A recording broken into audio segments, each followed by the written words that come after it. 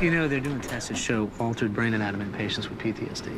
They're actually getting close to understanding the physical side of a psychological trauma. It's amazing what you can see with an MRI. What did Meredith tell you about last night? What did she say? Post-traumatic stress is a real injury, Owen.